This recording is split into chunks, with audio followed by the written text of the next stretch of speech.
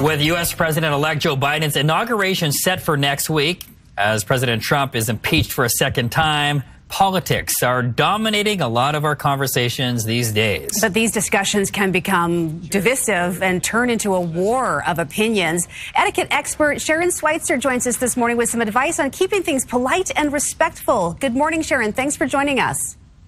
Good morning. It's my pleasure to be here. So we all have people that are in our lives, whether they're colleagues or friends, that things will get heated if we have these conversations. How can we engage in polite and respectful conversation?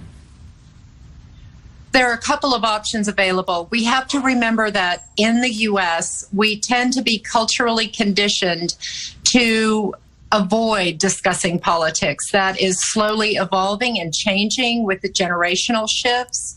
So we're seeing some folks in the younger generation who want to talk about politics. So we see people who want to talk about and engage in these discussions and we need to be ready and prepared for that. So you have options available. Some people will ask a direct question. Some people will ask a more indirect question and you need to be prepared to either engage in that or say no, thank you. And here's why. Now, if your boss asks you or your supervisor, you have to kind of do a ballet dance as to whether or not you're going to engage in the discussion.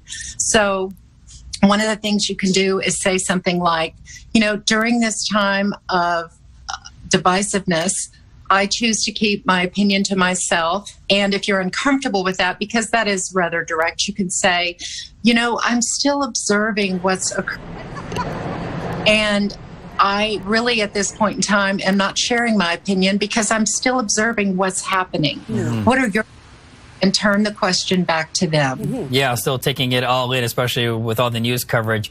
How important is it to, to know your audience first? Because sometimes you don't know if they're red or blue or what their beliefs are.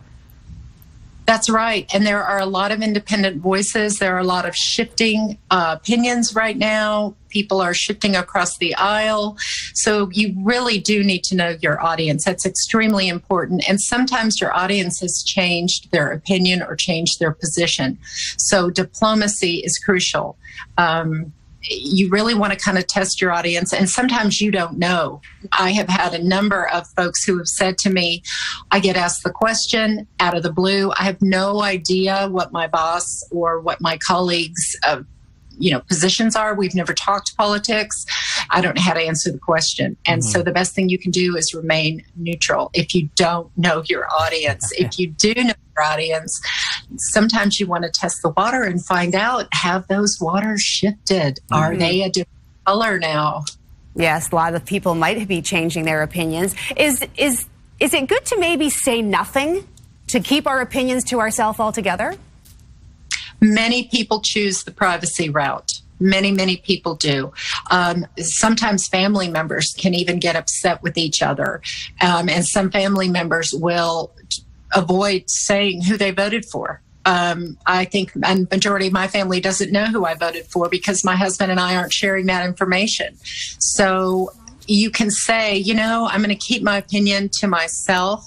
I think right now it's best that I don't share what my thoughts are, but I do appreciate you asking and thank you for your interest. On the flip That's- side, uh, sorry to interrupt, uh, but uh, how about social media behavior? Because people sometimes just send a link that obviously shows their their thoughts and maybe will influence uh, a relative or a friend. What are your thoughts about liking something, disliking something, and just sending a link? Well, there is some research that is out that says that if you do share your opinion and do it in a respectful way, in a dignified way, that you can be a cheerleader for democracy, depending on how you do it. Now, there's a lot of debate right now, and there's a lot of discussion about the manner in which people express their views. So I think we all have to be respectful not only of each other, but of ourselves, because how you express your views is a direct representation of your self esteem and your self respect. And so if you want to share your views and share your thoughts, mm-hmm. remember the reflection of your how you view yourself. That's and a- it's influence other people. That's a great way to look at it. Mm-hmm. Sharon Schweitzer, etiquette expert, thank you so much for joining us this morning and telling us how we can make that very delicate walk. Thanks, Sharon. Thank you.